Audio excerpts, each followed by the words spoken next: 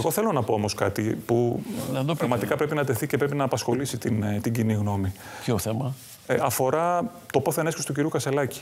Ναι. Το, επάνω τον είχα ρωτήσει και εγώ εδώ τον κύριο Κασιλάκη. Κοιτάξτε, επειδή- Στην εκπομπή που είχε έρθει σε μένα. Δεν Ακούστε ξέρω αν με. το είχατε δει. Ακούστε με, το ξέρω το είχατε ρωτήσει. Ο κ. Κασελάκης κομίζει κατά τον ίδιο το νέο. Το άφθαρτο, το απόλυτα διαφανές. Και έχουμε φτάσει Στην μια, Αμερική δεν μπορεί να κλέψεις. μια εβδομάδα πριν από τις εκλογές και ως αρχηγός ο οποίος έχει εκλεγεί εδώ και αρκετούς μήνες, ακόμα δεν γνωρίζουμε ποια είναι η οικονομική του κατάσταση.